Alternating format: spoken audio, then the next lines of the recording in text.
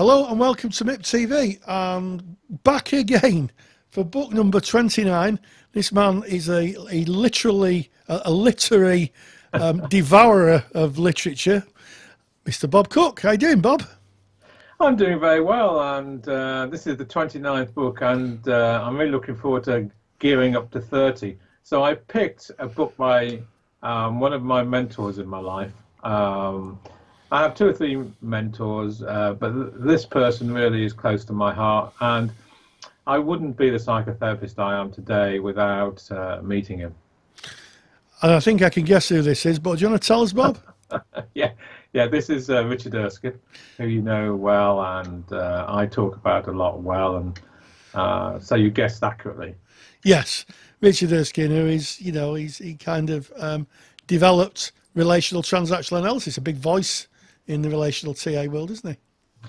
Yeah, and uh, you know, not to be confused with two aspects. Uh, Richard Erskine created his own organisation called Integrative Psychotherapy. Now, interestingly enough, when he created it, I said to him, "Why don't you call it Integrative Relational ah. Psychotherapy?" Ah. Because it's very very, you know, you really believe in working with relationship. However, I don't know what other influences, but he decided to call the organisation Integrative Psychotherapy uh, in, in, in sort of 2002, and it was 2008 when Helena Hargaden and Keith Tudor um, took the um, the road or the terrain uh, and named their school Relational Transaction Analysis uh, which is very, very different from Erskine's view of how he used the relationship. But having said all that lot, he really was one of the few people that used the relationship in an integrated way. So it's a moot point, but I know Helena Hargaden and co would say they were the authors and the uh, they possessed the intellectual property of the term relational transaction yes. analysis. So, but this book is called Integrative Psychotherapy in Action, one of his first books, uh, talking about clinical nuances, uh, 1988. And it's edited by him and his sub-editor, Janet Moursund, who came along. I, I met her well. She stood. In, she she went to one of the five-day marathons that he ran. Uh, lovely woman, and um, she's the sub-editor in this book. It's 1988, a fantastic book, a fantastic read. What is it that kind of sparks your passion for this? Because you, you said that quite deliberately, Bob. Yeah, I did. Besides this, a signed copy, which uh, uh, which is always nice to have. It is.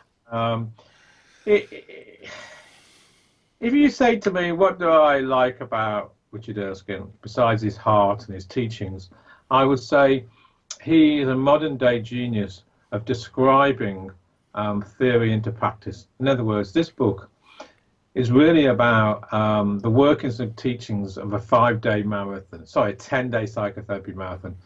It's a book of case. It's a book of cases. It's a book of vignettes. It's a book of um, describing transaction by transaction by transaction what he did, why he did it, when he did it, the timing of it, and what it all meant theoretically. You cannot get that. You cannot buy that. You cannot buy somebody who's a genius theoretically and a genius at explaining clinical practice into theory. Mm. I mean, you cannot buy that. No, it's a real crossover, isn't it? One thing, as as i am hearing you saying, talking about the theory, but how in, how it's applied and and the the method of its application, that's a whole different ball game, isn't it? And he does it both. I would say to you quite truthfully that I I, I haven't been more privileged in my life to, than to sit in on his psychotherapy marathons. Uh, of course, doing therapy myself, but to sit in it and listen to him talking about uh, the work from not only from a theoretical perspective, but from a relational perspective. And I've been very privileged. And I, I, I can guess some of the people in this book because I, I was in a couple of the marathons where I think these case studies came from one of the, if you ask me what I like in terms of the overview of that book I've just told you, but I really like one of the chapters talking about the parent ego state. Okay. Now, the parent ego state in transaction analysis is the parental introjects. Mm. So it's your mother, your father, the, your teachers, your mentors, your um, the significant other people um, and how you work with those people. Now, if it's a healthy system, of course, they're mentors, they're positive you know, guides, they're part of a healthy framework.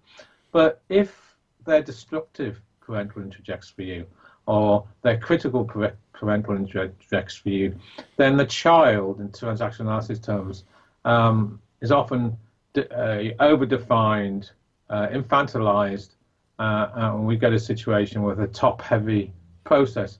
So in TA, you have this technique of talking and working with the in inverted commas parental figure, which has been so destructive, and helping uh, through the uh, parental technique the healing of the parent, or at least, as Eric Berne said, turning down the noise of the intense negative parent in the psychological system in the service of cure.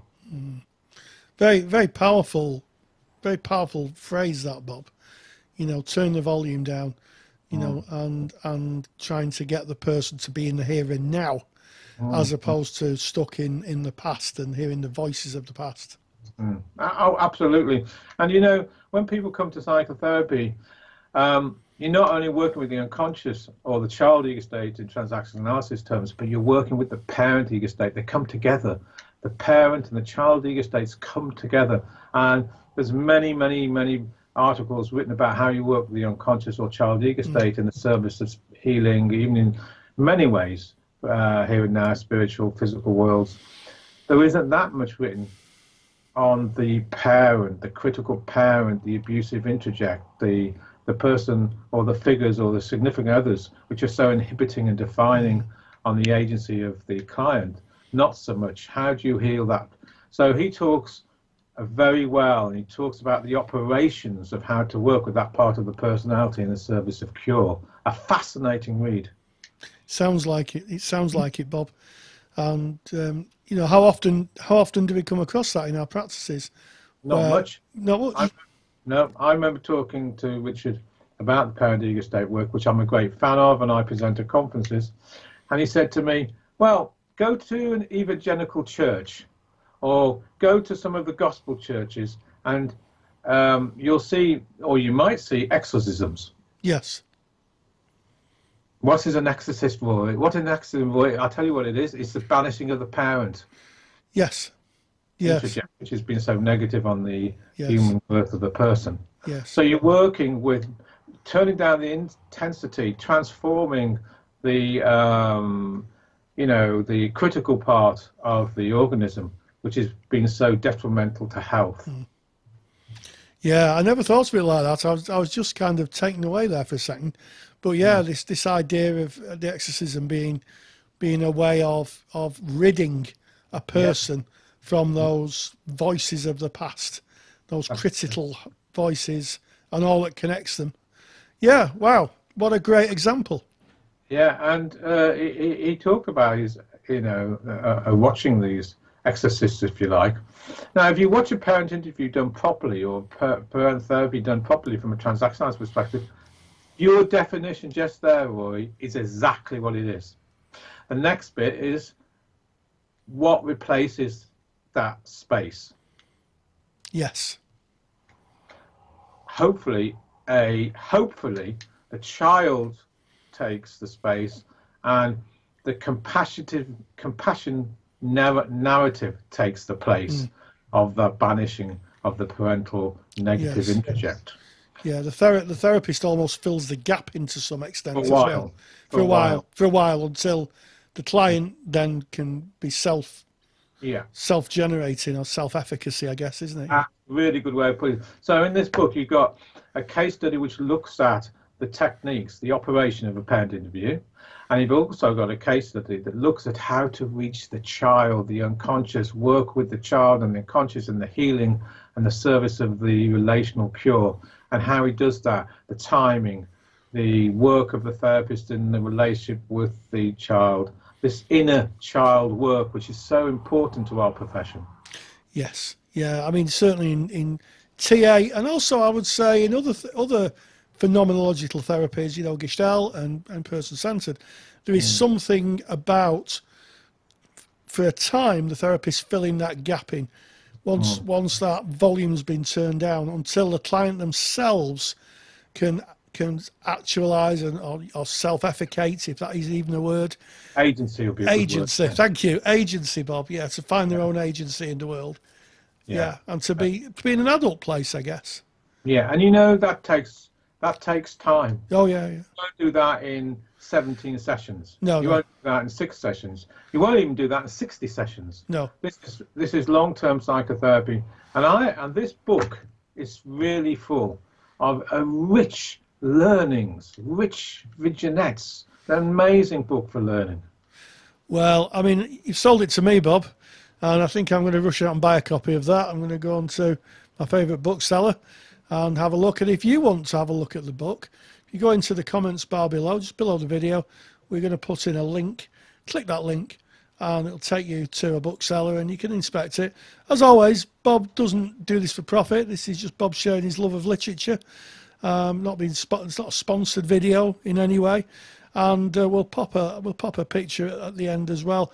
But that sounds to me like a not to be missed book, Bob.